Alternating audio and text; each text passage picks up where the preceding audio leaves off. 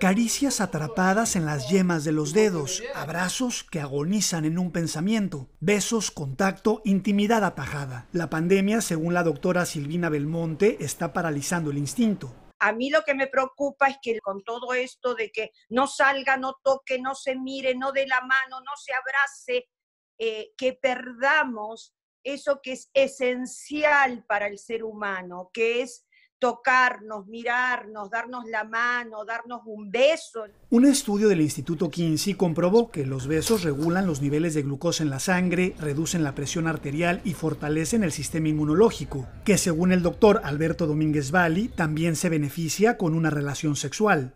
Científicamente comprobado.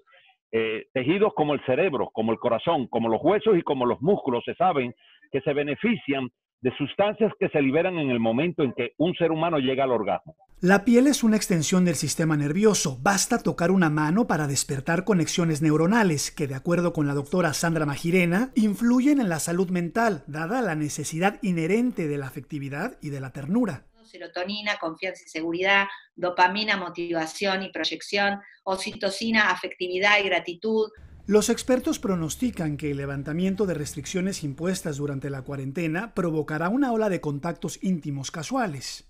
Uno no debería de correr el riesgo de por una relación sexual perder la vida. El premio Nobel de Literatura Octavio Paz dijo, el mundo nace cuando dos se besan. Yo me pregunto, ¿habrá mundo sin ellos? ¿Qué será de nosotros sin el contacto, sin la cercanía? Alonso Castillo, Voz de América, Miami.